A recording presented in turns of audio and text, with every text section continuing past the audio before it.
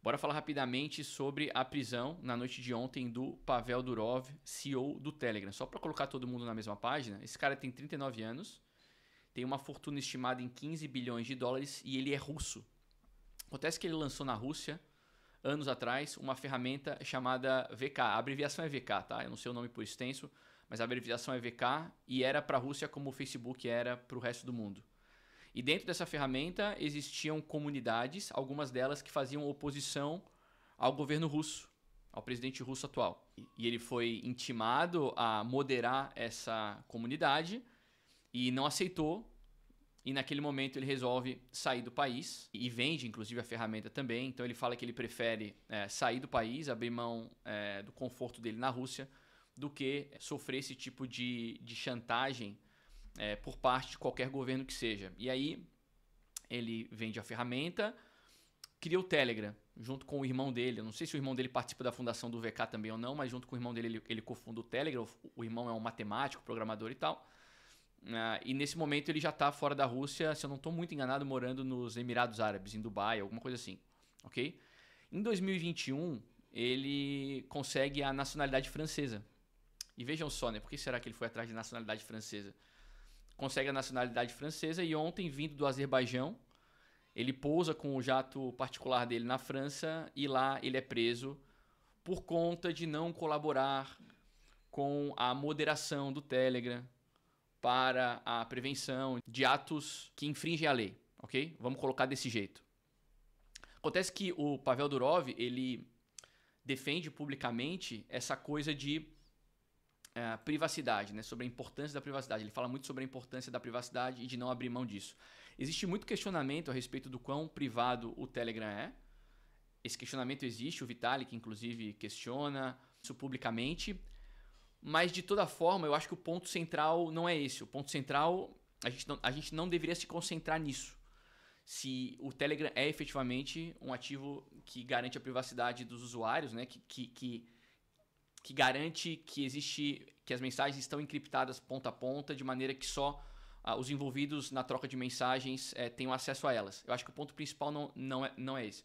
O ponto principal é qual seria a diferença, efetivamente, da Rússia para a França, por exemplo. E aí a gente pode colocar todos os países europeus eh, no bolo. Né? O cara sai da Rússia, porque provavelmente seria, na, na melhor das hipóteses, preso por não colaborar com o governo russo na melhor das hipóteses. Aí ele vai morar em outro lugar, consegue a cidadania francesa, não sei por que motivo.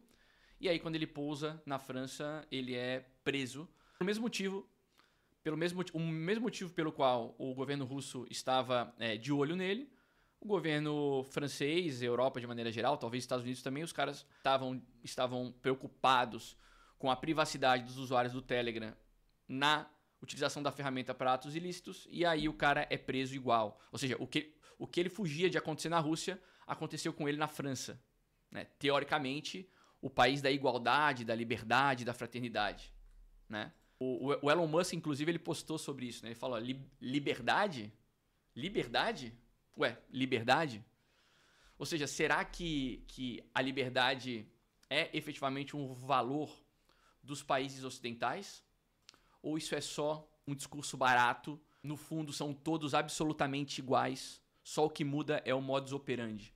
Talvez alguns tenham menos vergonha de tolir a liberdade das pessoas e outros, e outros tenham mais vergonha, mas no final das contas fazem absolutamente a mesma coisa, o que é bastante lamentável. Poucos meses atrás, há ano atrás, na verdade, pouco mais de ano, de ano atrás, a gente teve, por exemplo, a prisão lá dos desenvolvedores do Tornado Cash, que é um mixer de criptomoedas.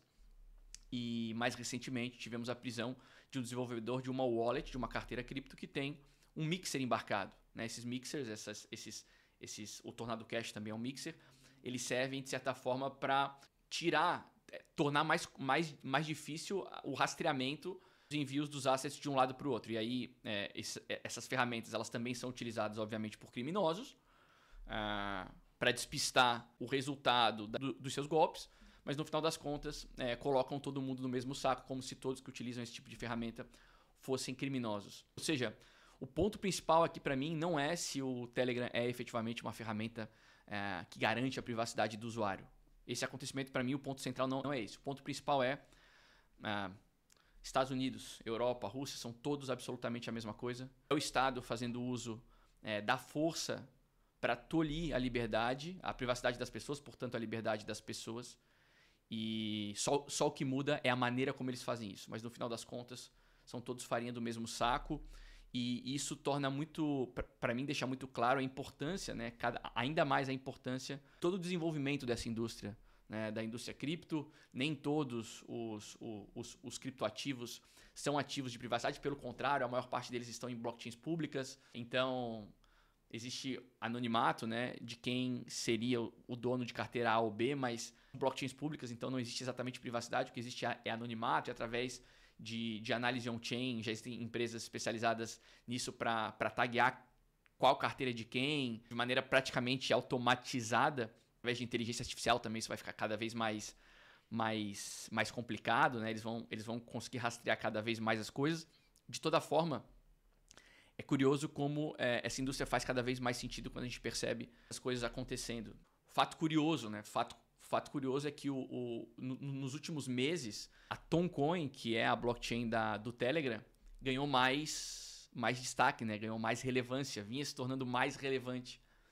E, coincidentemente ou não, agora o cara é preso, né? Agora o cara é preso. Tem muita gente especulando que isso poderia ser um ensaio para o que poderia acontecer com o Elon Musk, né? Porque o Elon Musk, também dono de rede social, dono da, do Twitter, e de certa forma também tem em alguns momentos é, se mostrado bastante avesso ao sistema como ele é. Se é verdade ou se não é, aí são outros 500, né? A gente, a gente já viu o Elon Musk dar demonstração algumas vezes de que ele é parte do sistema e não contra o sistema. Então, é, a ideia desse vídeo também não é discutir se ele é parte ou se ele está contra. Eu acho que ele é parte, talvez ele só não, talvez ele só não Talvez ele só não faça parte de quem está no poder hoje, mas talvez ele faça parte do sistema de toda forma. É, de todo jeito, o ponto é esse. A importância da privacidade é para garantia da liberdade das pessoas e parece que isso Estado nenhum quer que aconteça. Alguns têm menos vergonha de admitir isso, outros têm mais vergonha, mas no final do dia são todos farinha do, farinha do mesmo saco até estava falando sobre, sobre esse tema com a comunidade hoje mais cedo. Independente de ser ou não, ou não ser uma aplicação privada, tá? Independente de esses caras guardarem ou não informações uh, nos servidores deles. A narrativa, a defesa do Pavel é de que ele não colabora com absolutamente ninguém porque ele quer garantir a privacidade daqueles que utilizam é, a ferramenta para se comunicar, ok? Se a gente considerar que isso é verdade, se a gente considerar que isso é verdade, não estou falando que é, mas se a gente considerar que isso é verdade, então, ele não tem controle nenhum do motivo pelo qual a ferramenta é utilizada. Então, vai ter gente utilizando a ferramenta para se comunicar com amigos, vai ter gente utilizando a ferramenta para se comunicar com familiares, vai ter gente utilizando a ferramenta para planejar um assalto a banco, vai ter gente utilizando a ferramenta para compartilhar é, é, pedofilia, vai ter gente utilizando a ferramenta para todo tipo de fim que vocês possam im imaginar. Para fins lícitos e para fins ilícitos. Para fins moralmente aceitáveis e para fins imorais, ok? Que é a mesma coisa que acontece com qualquer outro produto mais tradicional. Vou dar um exemplo para vocês aqui. Por exemplo, o automóvel, logo no lançamento do automóvel, quem me, quem me falou sobre isso foi o Marcelo Sampaio, CEO da Hashdex. Ele falou o seguinte: olha, João, no começo, quando, quando lançaram os automóveis, uma das primeiras utilidades que se deu aos automóveis foi para assaltos a banco. Enquanto a polícia estava andando a cavalo, os assaltantes estavam é, motorizados e utilizando os, os, automóveis para assaltar bancos. E naquele momento houve, de certa forma, uma comoção para que houvesse a proibição da fabricação dos automóveis. Ao invés de colocar os automóveis na mão da polícia também, a primeira ideia foi proibi-los, proibir a fabricação dos automóveis. Vejam como nós estaríamos se os automóveis não pudessem ter avançado no seu desenvolvimento, na utilização ah, disso para exploração de mais lugares, para, enfim, para tudo, né? É, não, não, dá para imaginar hoje um mundo sem, sem um carro, sem automóveis. Então, por exemplo, prender o Pavel, na minha opinião, é como você prender o dono de uma, de uma montadora. Podemos pensar em qualquer montadora aqui, a Volkswagen, porque um, carro da Volkswagen foi utilizado para assaltar um banco, foi utilizado para é, sequestrar uma pessoa, foi utilizado para cometer uma violência contra alguém no interior do carro, então o fabricante desse carro deveria ser preso. Ou então, sei lá, um fabricante de facas, o fabricante lá da Tramontina. A faca é utilizada para cortar alimentos, para cortar legumes, para abrir um saco plástico. Se alguém então utiliza uma faca para cometer um assassinato, o dono da, da Tramontina deve, deveria ser preso porque ele, de certa forma, tem culpa também.